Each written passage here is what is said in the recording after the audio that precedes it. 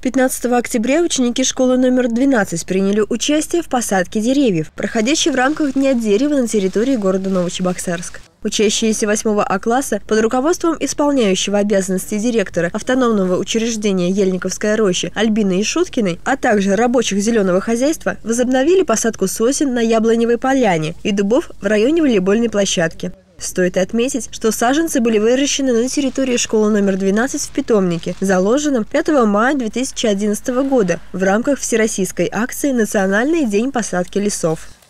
В городе Новочебоксарск продолжается акция «День дерева». И в рамках этой акции у нас сегодня проходит такое мероприятие, как высадка э, сосен и дубов на территории Ельниковской рощи.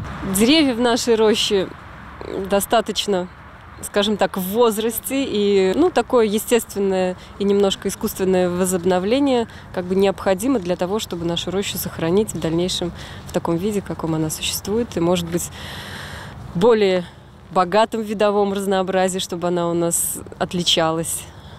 Опытный лесовод Флавьян Воронов рассказал ребятам, как нужно правильно укладывать саженцы в лунки. Усвоив теоретический курс, учащиеся принялись за дело. Всего было посажено 33 сосны и 60 дубов.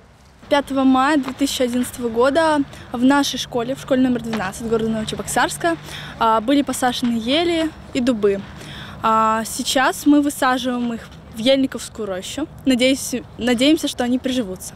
Это очень непривычно для современных подростков, но это очень интересное, увлекательное занятие. Через много-много лет мы приедем сюда, в этот город, все со своими детьми, и э, мы расскажем всем, что сажали их, и это будет тоже уроком для наших детей и приятно всем.